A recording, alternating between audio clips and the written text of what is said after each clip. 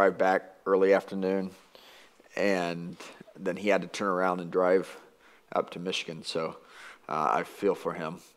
Uh, so let's pray that God will anoint his ministry today. Uh, and of course, let's be praying for the ministry uh, this morning and tonight, the services. Please remember that tonight's Harvest Sunday as well, and we want to honor our staff, uh, our school staff. Let's bow our heads for a word of prayer, and then we will uh, turn to the third of our four parts in our Reformation. Let's pray. Heavenly Father, we thank you for this day. We praise you for uh, your nearness to us. We thank you that you have made it possible for us to draw near to you. And when we do, you have promised that you would draw near to us, and we praise you for that. We're asking that you would uh, settle upon this place uh, during this hour of Bible study and uh, study of history, that you would honor us with your presence in the worship service this morning and tonight. And would you be glorified uh, not only this day, but every day, and wherever your people are gathered around the world today on this uh, this uh, great day of Christian celebration. Uh, would you be glorified? Would you be near to them? Would you, would you protect your people that are gathered uh, in your name? And would your kingdom grow because of the preaching and singing of your word? We pray this in Jesus' precious name. Amen. Uh, I do want to mention before we start uh, this third, again, third part of four part series on the Reformation. Uh, some have asked me what uh, material, what books, what's something out there that uh, you would recommend. Uh, there are several uh, that I recommend. Uh, the two best ones, I did, actually didn't bring down with me. Maybe I'll bring them next week. they're up in the office. But they're pretty robust. they're quite meaty. of course, I, you would enjoy them, I'm sure. but they are um, you know, 800, 1,000 pages long. But this is a good one. This is an older book, uh, but it has been updated. Uh, this is an older edition. Mark Noll, a well known church historian. This book called Turning Points. It's not all on the Reformation, uh, but a lot of uh, quite a few of the chapters in here deal specifically with the Reformation, and then the chapters before the Reformation give background to uh, the era that we are speaking of. So uh, this, I would certainly recommend this book uh, here. It's called Turning Points by Mark Noll, N O L L. And I can put this, in fact, uh, Dad, will you come get this and just put it on the connection table there so people can uh, glance through it? Uh, thank you. yes, feel free to take a look at that book. And um, don't take it because I have made, I have used it a little bit for these uh, lectures. We are talking this morning about uh, the uh, branches of the Reformation. In fact, let me move forward here. Now, you may not be able to see this, and I apologize, I did not get uh, copies of uh, this lecture. I, I, will email them again. If you will send me an email, uh, once I've finished all four lectures, I will uh, email them to you. So that won't be this week, that'll be the following week, uh, since next week will be the last of the four lectures. Uh, but uh, in these notes, you will have this little graphic that I created. And uh, the top arrow moving across is, is RCC, Roman Catholic Church. Uh, that is for the West. from 1054 forward, was considered until the Reformation the church. So when you spoke of the church, you meant the church that was overseen by Rome. Uh, of course, if you were in the east, that was different. That was a different story. Uh, Constantinople would have been one of the that would have been the head of uh, that church. They didn't call it the head. They had an archbishop uh, who presided over a, more of a committee. Uh, Moscow, by this time, also would have been a major kind of the third uh, center for Christian religion. Uh, Jerusalem in the past had been, but by this time, at this time, Jerusalem is uh, under the control of Muslims. Uh, there is a Christian presence there, of course, and a, a small Jewish presence, but Jerusalem was not significant at all. Jerusalem did not become significant until uh, later. Uh, it was kind of lost in this um, these Middle Ages and early modern period. Uh, but what I have here is I have, you see the four arrows dropping down, and the first arrow drops down to the bottom. Uh, that's the Lutheran Reformation, uh, 1517. We talked about that last week. The second arrow that drops down, if you can't read that on the screen, is the Reformed or Calvinist branch. Uh, the Reformed branch is a actually a two-pronged branch. Uh, but we'll talk about that uh, today. Uh, the third one is uh, the Anabaptist, or what's called the Radical Reformation. And uh, we will also discuss that briefly this morning. And then the fourth one, the one nearest to the top there, uh, is the Anglican or the English Reformation. And all of these reformations, which is really what they, they are, they were, these reformations took place they, they began uh, quite quickly. Uh, and they were not unrelated. There, there is uh, some relation between them, and there is also between them some connection to uh, Luther. Uh, the Lutheran Reformation, of course, is the first on this chart, and each of these, and, and I will try to tie some of these to Luther and show you what the connection is. But let's talk about first, uh, let's, let me show you this. This is a panoramic of uh, what's called the Reformation Wall. Uh, you can find it in Geneva, Switzerland. Now, Geneva, of course, is one of the main sites. Has anyone ever been to Geneva? Okay, you have. All right. And uh, have you seen this wall? You didn't. You didn't see it. Oh, you should you should, you should have gone and visited this wall, the Reformation wall. Uh, in the center are four of the main figures. I'll show you a picture of them in a moment. On the side, on either side, there are, I believe, three figures, uh, life sized figures of some of the early reformers, particularly in this area. Uh, but we'll talk about them. Here are the four central figures uh, you have uh, in order from your, let's see here, let me look at it. Yes, from your left to right. Uh, you have one named Guillaume Farel. He was very influential on, uh, he was a Frenchman. He was very influential on John Calvin, who was also from France. John Calvin is the second person there from your left to the right. Uh, the third person is Theodore Beza, who was a uh, colleague uh, closely associated with Calvin. And then uh, John Knox, who, of course, was influential up in the British Isles.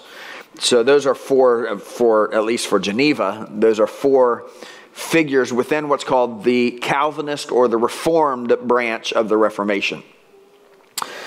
Uh, this let me let me talk about uh, John Calvin here. You have two pictures here. These are the two main figures within what's called the Reformed branch the Reformed branch of the Reformation. You have on the left John Calvin, you have on the right a guy by the name, a Swiss man named Ulrich Zwingli. Ulrich Zwingli. And you may have heard of him, but let's let's talk about John Calvin for just a little bit. And he was, of course, was from France. Uh, he was a uh, quite different from Martin Luther. We I tried to describe Martin Luther last week. Martin Luther was a, a um, uh, very was raised under a lot of superstition. He he really struggled with faith. He uh, had a little, uh, uh, quite a, quite an explosive personality. Martin Luther did. Uh, he was known for outbursts of anger. Uh, he was known as a pretty flamboyant person, even though he was a very fearful person. John Calvin was a little different in that he was not so flamboyant. He was not you know, prone to outbursts of anger, but he was a very anxious person. He was a very uh, fearful person as well, uh, yet uh, he held himself together better than Martin Luther did. Uh, John Calvin was raised in France. France, of course, was a has always been until the French Revolution a stronghold for the Catholic Church. Remember, uh, France was the place where the uh, eight Catholic popes uh, moved their headquarters, so to speak, to France, Avignon, France. And so the French king always had a lot of power in the church and uh, basically ruled the church. Uh, so when Luther, uh, when he published his, began publishing his thoughts and started entering into the public spotlight, his thoughts, of course, began to disseminate throughout the empire, and of course, they reached uh, France. Uh, but really, Erasmus was more influential in France than Luther was. Uh, France had much more success uh, uh, stamping out Lutheranism, uh, so much so that from France, the Luth- Lutherans uh, they, they fled France. They were perse- pretty much uh, persecuted, seriously persecuted, and so they fled from France, and that was the way of the church keeping control. And John Calvin was born into that uh, setting. He was raised, I should say, into that, that kind of, of life. He was born in 1509, so he is quite a bit younger than the other reformers. Uh, he uh, w- was sent to university, I believe, at about the age uh, 13 or so, or 12 or 13, which was normal at that time for 12 and 13 year olds to be sent to university. Uh, his, he, he actually studied law. Remember, Martin Luther, he wanted to go study law, uh, but uh, God changed his mind. He, he went and studied theology instead. Uh, John Calvin, though, did study law. He actually gained his law education before turning to the study of, of the biblical languages and uh, he studied at the University of Paris. And it was at the University of Paris that he and a circle of friends began to uh, they began following the teachings of Erasmus first, and they really began to. Uh, buy into a lot of the ref- Reformation ideas that were already being circulated. And Luther had already published his uh, some work, several works. But uh, again, they're in Paris. So the church began to crack down on these kinds of people. So uh, John Calvin and his friends, they fled Paris. Uh, still very young, they fled Paris. Uh, they moved around. Calvin moved around various places.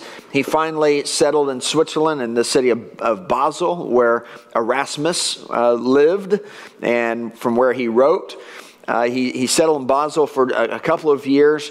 And then uh, one night he was traveling and happened to travel through uh, the city of Geneva, which, if you, I, I don't have a map up here, but Geneva is located in the far west of Switzerland, right near the border of uh, France, Italy, and then, of course, Switzerland. And Lake Geneva is there. So it was a strategic place. They happened to be passing through there, and uh, uh, it came about that uh, as he was uh, there and, and, just spending one night there, that uh, this man, let me give you his picture here. The man on the your left, far left there, uh, Guillaume Farel. He had long fled uh, France, but he was uh, the, the, kind of the, the, religious leader there in Geneva, and he heard he was quite a bit older, forty some years older than Calvin and he had heard that Calvin was there. And Calvin already had a reputation. In fact, he had already been, uh, written the, I, I believe by this time, he had already written his first edition of the Institutes, and he had done some other writing and lecturing uh, as well. But Guillaume Farel had heard about this, was impressed with this young man, and uh, compelled him to stay. And so Calvin did. Calvin stayed in Geneva. Uh, well, a little bit later, uh, uh, some years later, the Geneva, the city of Geneva, was composed of, of a mixture of people. You had the native Genevans, who were uh, Roman Catholic for the most part, or at least a large portion. Uh, then you had a very large influx, their proximity to France, of Frenchmen, French reformers, people who were, who were not who were turning against the Catholic Church. So you had this volatile mixture of people in Geneva, and they're all the time going back. Now, above all of that, you have this, the, the 13 states, we'll call them, of Switzerland, of the 13 states of Switzerland. Uh, they, uh, some of them were strongly Roman Catholic, but me, most of them were strongly independent when it came to civil matters. So they were still Roman Catholic, but they were resisting the Holy Roman Empire. so there was a kind of a, a, a bittersweet relationship between the Swiss and the, the powers that be, both church and state. So Geneva was kind of the, was one of the main centers of, of the activity, uh, the political activity going on here. And so initially, Calvin was received very well, but then he crossed some of the native Genevans. Uh, he and Guillaume uh, Farel kind of crossed them, and they chased him out. They they told him to leave. They left. Uh, I, I, believe he went back probably to to Basel, uh, where he had been before. Uh, but later, though, again, just to show the political sway, you know, the influx of more refugees probably influenced this. Later, the city of Geneva, the council invited Calvin to come back, and uh, they offered him a very prestigious uh, position of basically overseeing all the clergy of, of the city. Now, why was that important? That's important because the clergymen in Geneva, uh, this was, of course, set up by the Roman Catholic Church. They pretty much oversaw, uh, they were extremely influential in civil matters. So they could, they were very influential with the city council.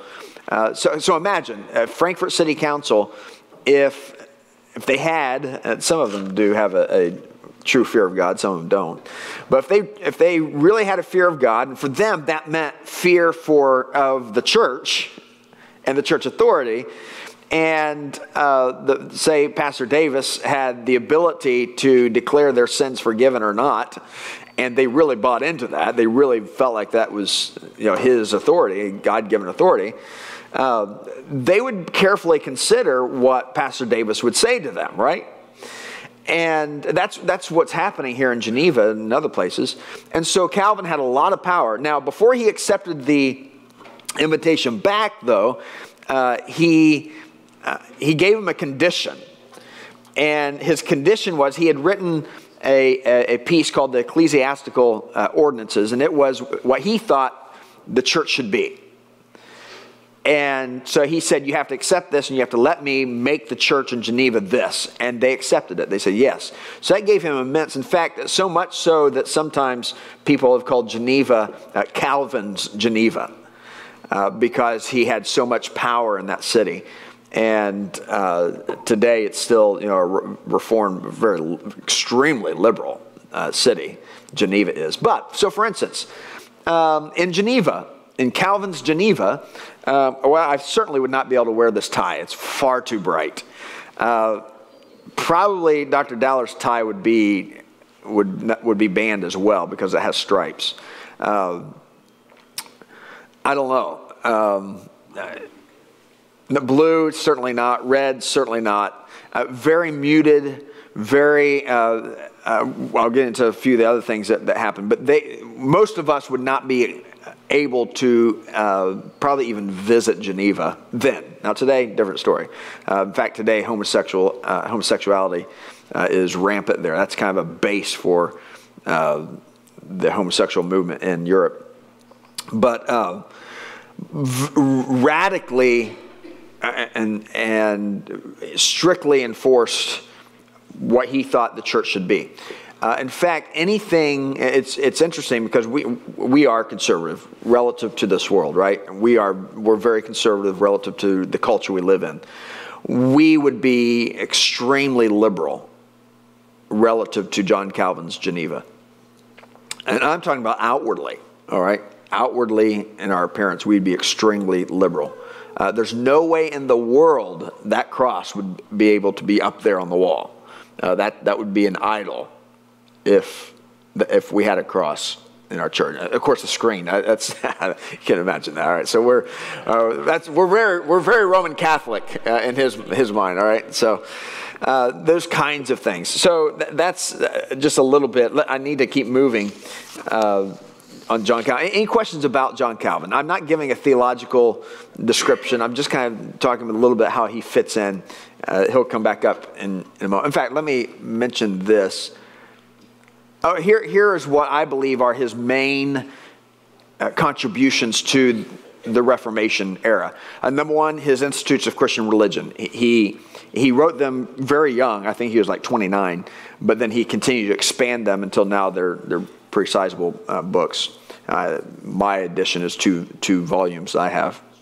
I've read them several times. I, I recommend you reading them, read them. Uh, I, of course, we don't agree with everything there, but I agree with most that's there as did John Wesley and others. Uh, so, classic literature, institutes of Christian religion. The reason these were important is because these uh, volumes became a significant uh, theological basis for a large part of the Reformation. Secondly, Reformed ecclesiology. Uh, I'll talk a little bit more about what that is, but basically, he came in and said, We're rejecting entirely what the Roman Catholic Church says church is, and I'm going to give you something different. Now, it was all of his own making? No, it wasn't. Uh, he was he had collected thoughts from Erasmus, from Luther, from others. Now, interestingly, uh, Calvin and Luther they never met. Okay, Luther is quite a bit older than Calvin. Uh, they never met, but they had respect for one another. Uh, Luther had read some of Calvin's works. Uh, Calvin, uh, Calvin, of course, had read Luther. But uh, Luther doesn't really say anything about Calvin. He doesn't really comment anything about Calvin. But Luther's younger colleague, you may remember him, Philip Melanchthon, who taught with uh, Luther at the University of Wittenberg, uh, Melanchthon and Calvin corresponded. They were close to the same age. They corresponded, and Calvin would frequently talk about Luther to Melanchthon. And uh, Calvin was not uh, greatly impressed with Luther. He respected him, but was not personally impressed with Luther. And in fact, uh, there are, let me see if I can find, I have some quotes here. Um, get the right page. Here we go. Here's a little bit of what he said. Um, Luther is 25 years older than Calvin. Uh, Calvin uh, was critical in his, one of his letters to uh, to Melanchthon, saying that Luther was immoderately passionate and audacious in character. Uh, he, he, was, he actually told Melanchthon that Luther was dangerous for the church because of his flamboyant, his, his, uh, his uh, proneness to anger and quick, uh, he had a short fuse. And Calvin said that's dangerous to the cause. Uh, and he was probably right. Uh, anyway, so that's kind of uh, the, the interaction between Calvin and Luther. Ulrich Zwingli, oh, let me close, end Calvin with this. The Dutch Reformed Church, then, even though uh, Calvin had not actually been in what's called the Netherlands, uh, his thought became uh, the standard through others, Martin Bucer, Theodore Beza, for what is now known and then known as the Dutch Reformed Church. That's important because later uh, in some other lectures I'll talk about how that ties to us uh, with Arminianism. Uh, but that's not for today or next week. Now, Ulrich Zwingli, this other guy, let's see, where is he? There he is. The other guy, uh, not the guy, the, the clean shaven guy, but the guy who needs a haircut along his ears. Uh, that's Ulrich Zwingli he was quite a bit older than, than uh, Calvin as well. In fact, he had already started the reform. Uh, if Geneva is way down here, uh, you've been to Geneva as well, right? Oh, you haven't? Oh, okay. All right. So you've been to Zurich? Yes. All right. So Zurich is on up here in the far east of Switzerland. And before Calvin ever arrived in uh, Switzerland, uh, Zwingli was already beginning to reform the church in uh, the city of Zurich. Uh, Zurich and, and the city of Bern were the two main cities, uh, most influential cities in, in Switzerland. Again, all of Switzerland, it was not an independent nation, but they had largely gained civil independence from the Holy Roman Empire uh, because the Holy Roman Empire continued to lose uh, uh, authority and ability to control these outposts, so to speak. Uh, Zwingli was born near Zurich. That's where he ministered. Uh, he was respected in that area. He nearly died from uh, what we know as the Black Death, the plague that rampaged through Europe and part of Asia. Uh, but uh, he survived, and out of that, he embraced what uh, we know as the doctrine of election, the doctrine of unconditional election, that God had, had sovereignly and against or despite his will chosen him to salvation and to a special ministry. Uh, indulgences were sold in this area as well. The same thing that was happening in Germany uh, when Luther witnessed that with Tetzel. Uh, the same thing was happening by a man named Solomon in, in Zurich. But that was not what caused the Reformation in, in, in Switzerland uh, or in, in Zurich. Uh, there were, let me put these, yeah, I'll put these three because I, I need to move a little more quickly there were, I believe, three main issues in Zurich. One was uh, theology of church and state. Now, uh, the John Calvin as well as Zwingli, they had a particular view of the church and state that maybe you share, maybe you don't. But that is that the state has the responsibility of enforcing what the laws that the church makes. What do you think of that?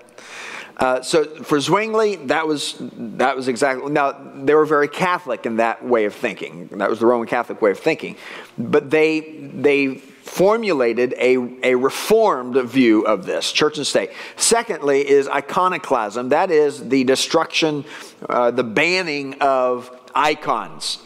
Now, the banning of icons uh, began here and then it influenced Calvin. Calvin bought wholly into it, and I've already explained a little bit of that in Geneva. So you would not be able to have the screen, you would not be able to have pictures, you would not be able to have, uh, you know, if you have, uh, my Bible's back there, but if you had a, a Bible with, with, um, you know, neat pictures and anytime. It's, in the church, no, no, no stained glass windows. All right. In fact, at this time, okay, these churches, remember, in Switzerland and uh, throughout the empire, these have been built as Roman Catholic churches, right? So what do you have in Roman Catholic churches? You have beautiful stained glass windows. You have you have statues. You have icon. You have, rich in symbolism, right?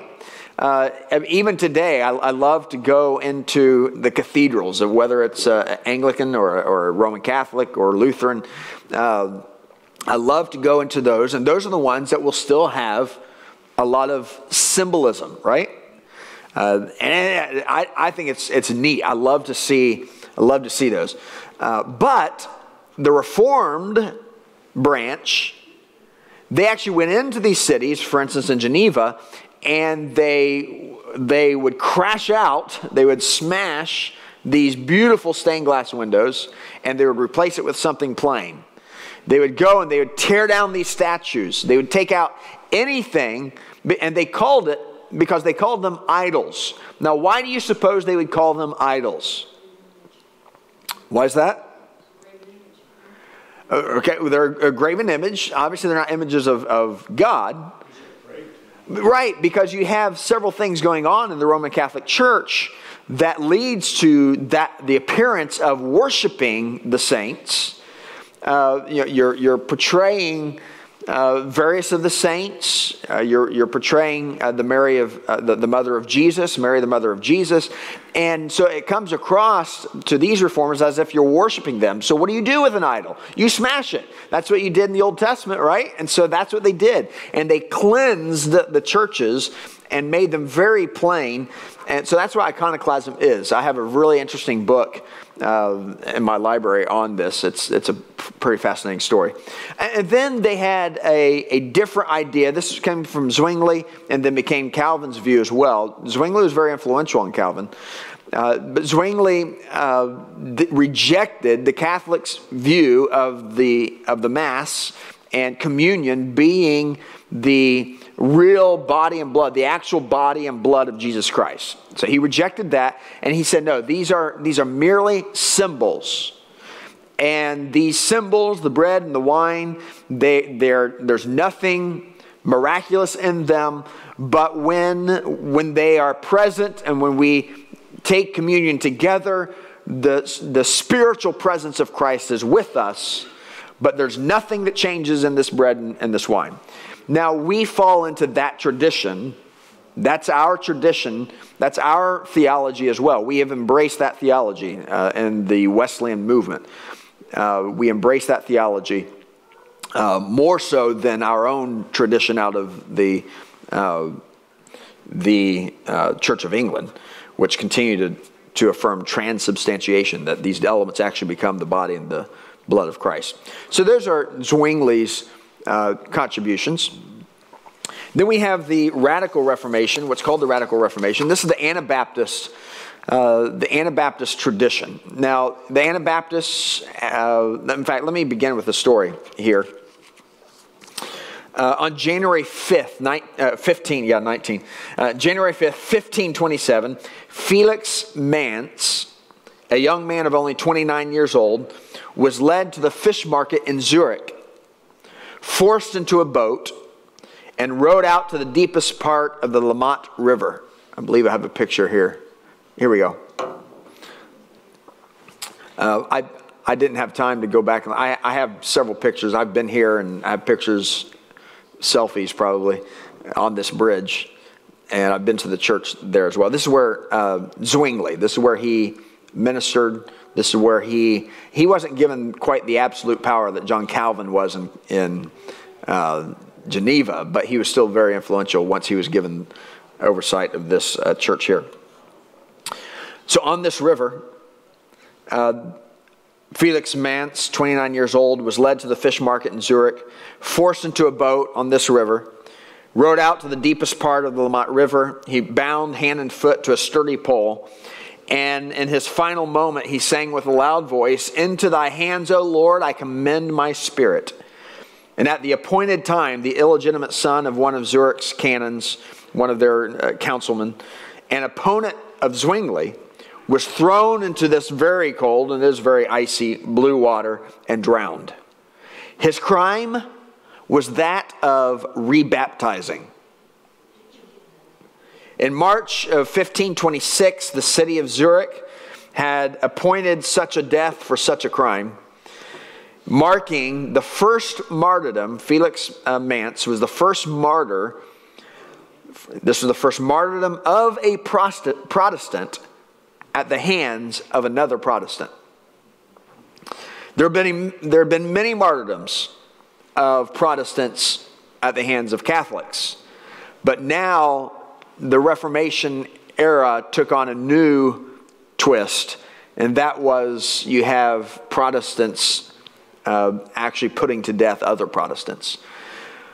So you have in this city of Zurich a reformed city. They were no longer Roman Catholic, they were thoroughly reformed, but still very heavy handed in the sense that the state and the church went hand in hand. What the law that the church set, uh, put in place, the, the state was obliged in carrying out, uh, enforcing and that's exactly what we have going on.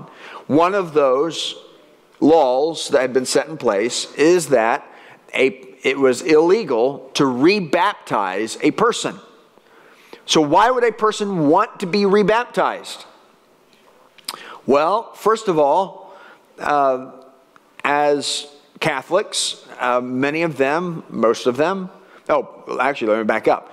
It was law okay, Roman Catholic law, and so therefore state law, uh, before Zurich was reformed, that you had to be baptized into the church. It was illegal not to be a member of the church. What do you think of that? So it was uh, this Holy Roman Empire, right? If you're a citizen of this empire, you will be a member of a church, and if you're not, there's, there are serious penalties. Well, to be a member of the church, you have to be baptized, of course, as an infant. So an infant comes, they're baptized. Well, the Anabaptists, many of them right here in Zurich, uh, which Zurich is one of the places where it kind of uh, grew, it became a branch of the Reformation. Felix Manz and others, they rejected the idea of uh, infant baptism. They believed that baptism should be uh, what they call believer's baptism. The person should be baptized uh, having consciously exercised faith. Now, there was a doctrine, though, before that. There was another doctrine they embraced before that led them to accepting that doctrine. So it was a logical conclusion for them. So they had believer's baptism, but there's one that goes before that, and that is what's called the believer's church. And that is, they're kind of like early Puritans. They, their doctrine of the church was, first of all, separation of church and state. That, that's the first thing that has to happen. There needs to be no relationship between the church and matters of salvation and civil matters. So that was the first thing. That was going to be a hard sell in Zurich, all right, or anywhere in Switzerland. Nonetheless, they embraced that. Secondly, only those who are truly believers and evidence the fruit of the Spirit in their lives can be and ought to be members. Now, by members, we have to think broadly in what our membership is here. Okay, we, we uh, membership is different than membership. There is you, know, you were required to be a member, but they were advocating. Uh, no, everyone shouldn't be a member. Only the believers should be a member, and those who do not uh, those who do not uh, abide by the laws of this church should be cast out of the church. Now there are elements there that we practice, but we're not as we're not as radical as what uh, Felix Manz and these other guys were, because we we happily invite sinners every week to church, right? we happily invite them to come in. Well, remember, church is a little bit different. If you come to church, you're going to be taking communion, you're going to be uh, participating. It, it's, the li- it's for Christians. Coming to church is for Christians. They don't preach evangelistic sermons, all right? The, if you, church is for believers. It's not for sinners, it's for believers. That's the mindset going on here. And they believed that only believers, those who are clearly believing, uh, should be part of that congregation. Well, in order to do that, then they would rebaptize. So your baptism was worthless if you were baptized as an infant. That was worthless. And so you'd rebaptize. Well, that's where uh, cities like Zurich, they outlawed that, and death was actually death by drowning was the specific penalty for rebaptism. All right? Anyone have, is it clear why they chose that? All right? Death by drowning. You rebaptize somebody, you get baptized permanently. All right? That's the idea. Now, Anabaptists um, is not something, I, I've heard many people say this mistakenly that Anabaptist means anti Baptist. All right? Anti baptism. That's not what Anabaptists means. Anabaptists, and they call themselves Anabaptists, Ana, the Greek word, simply means uh, to, uh, to, to, re, to, uh, to redo something. So Anabaptist means rebaptize, not anti-Baptist. So uh, let's make sure that we're clear on that. Now, some of them were called, and very quickly, uh, their opponents called them anti-Baptists because of their doctrine of rebaptism. They felt like they were rejecting infant baptism, therefore, they were rejecting baptism altogether. Uh, but they were not rejecting, uh, Anabaptists do, do not uh, uh, reject baptism. They embrace what's called believer's baptism. And uh, let me uh, go back here. Sorry, I didn't get these in order. So they embrace believers' church. It's a new doctrine or a, a different doctrine of the church than the Roman Catholic. Believers' baptism, separation of church and state. The Baptists, today's Baptist churches, are a mixture of largely from this radical Reformation. Uh, but it's really hard for any of us today in the American church to say, yeah, we're part of the branch of the uh, you know, the Anabaptist or the Reformed or the English uh, Reformation. All right, so here, here again, the four branches. Um, the fact is, is that most churches in America are a mixture of these. All right. Uh, so, for instance, a Methodist would be a mixture of Anglican and Anabaptist. And there were some Calvinists among the Methodists, and so there would even be some who would who would embrace the Reformed tradition. So we are not neatly, like I would not be able to just drop down another line under the Anglican or the Church of England and say, yeah, that's where we are. Uh, we have nothing to do with the others. It's not that simple. The Baptist tradition, uh, even though some church historians put them under the Anabaptists, and that's largely their influence, uh, you can't do that either. Uh, Southern Baptist right now is controlled by Reformed theologians. So, uh, Reformed, Anabaptists, and, and then even some Anglican uh, is there. So, it's, uh, it's, a, it's not easy, it's a complicated thing. Are there any questions so far? How are they able to get from the uh, separation of church and state to the from the combination of church and state? Was it because those that were in the religious realm were actually in the civil positions too? I mean, it seems to me like that's a, an opposite jump from you know the combination of the church and state all the way to the opposite extreme, where's the separation. Mm-hmm. So was it mm-hmm. the clergy that was influential in the political realm that was able to make this happen? Uh, the separation itself? Um, yes, but most of them were removed. I mean, just about all of them were removed. That's why, uh, and of course you know this, but the Anabaptists were all the time fleeing. They were the ones who, all through Europe, they were so persecuted that they were fleeing. So they had a hard time settling down for quite a few decades, settling down. And uh, yeah, sure, sure. And of course, uh, most famously, as we know, uh, the Amish and the Mennonites and, and the uh, German Baptists and, and that, that world uh, trace their lineage to the Anabaptist tradition. Now, uh, they became even more radical than the Anabaptists. Uh, not, not just in their church and state, but then many of them actually rejected baptism altogether. Uh, that was not what the Anabaptists started out to do, but some did later. Uh, so I, I, the only way this was implemented was um, it, it was not implemented in, in at least in this era. In, in Switzerland, in um, in England, in, in Germany, uh, for the most part, it was there were so you just had little areas throughout Europe where there was this was practiced, where the Anabaptists had some.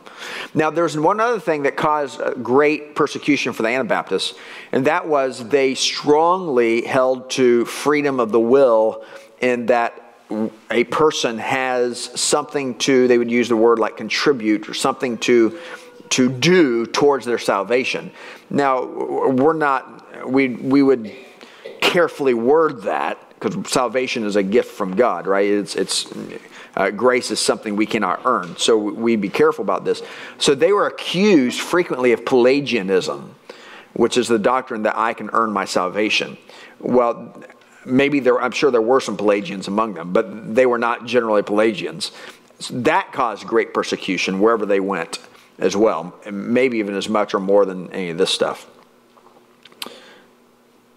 They also had the view, as they were articulating their believers' church theology, they were very open about the fact that they believed that since the early centuries, Christian centuries, for about a thousand years or more, the true church had been lost. And so when you have somebody coming coming out in a city and they're teaching that we are now the true church, like we've recovered the true church. Like, like come to our church. We've recovered. The rest of those churches out there, they're all they're all uh, uh, heretical. Uh, but we've recovered the true church. It's been lost for a thousand years. Uh, sounds like almost like you're a, a Mormon, right? Uh, so that was happening. So they were just very prov- provocative people they were they had some really good points things that we have embraced uh, even in our own tradition but they were very provocative and th- but that everything in this in this era was seemed to be extremes almost. Uh, the english reformation uh, let me show you this is a king henry viii this is his first wife catherine uh, whose uh, nephew happened to be the emperor all right? Some of you know that story.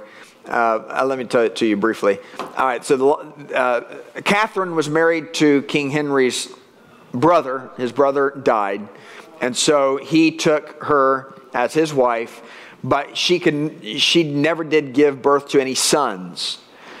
He, uh, he got his eye on a lady by the name of Anne Boleyn and decided he wanted to, uh, that he was in love with Anne and uh, sent a request to uh, Pope Clement. Uh, Clement was the Pope at this time. Uh, sent a request to him to annul the, his marriage to Catherine. Well, the Roman Catholic Church does not, uh, did not at that time, did, uh, there, were, there was no law, no provision. In fact, there's, uh, their stand was against divorce of any kind. So uh, that was a minor detail. Uh, the major detail was that Clement the Pope was imprisoned by Charles V, Emperor. All right? Okay, so you have Charles the Emperor, Clement the Pope, imprisoned by Charles, King Henry asking for the marriage to be annulled between him and Catherine, Catherine happening to be the aunt of the emperor. Okay? So there's no way in the world the man, the Pope, who is imprisoned by this lady's aunt, is going to go is going to cross this guy and so that's probably the real reason that he did not grant king henry his annulment. And so in 1529 king henry uh, wrote to parliament and said uh, i want you to declare that insofar as the law of christ allows that i am the head of the church.